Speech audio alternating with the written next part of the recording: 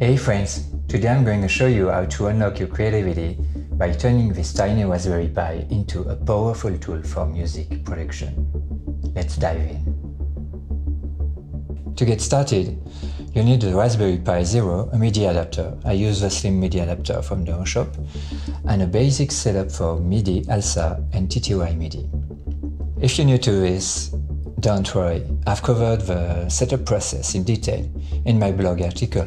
All the links are in the description below. On GitHub, you'll find a basic MIDI echo device and a looping sequencer. The MIDI connections are very simple. The MIDI out on my Launchpad Pro is connected to the MIDI in on the Raspberry and the MIDI out on the Raspberry is connected to MIDI in on my Roland MC101. The looping MIDI sequencer script is called Seq MIDI Loop 8. This sequencer captures incoming MIDI notes and loops them, allowing you to create evolving melodies and rhythms on the fly. The sequencer stores up to 8 MIDI notes in a loop, replacing older notes as new ones come in. It's perfect for creating dynamic sequences that change over time. Let's start the demo.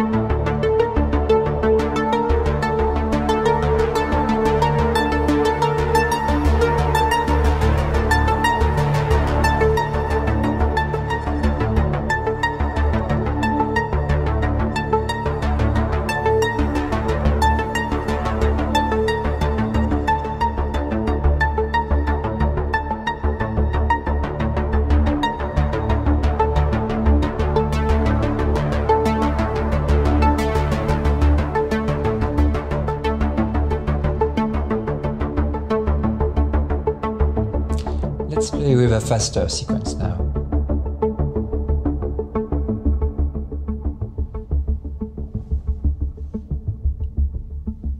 It's synchronized to my Launchpad MIDI clock, ensuring that the loop stays perfectly in time with the rest of the music.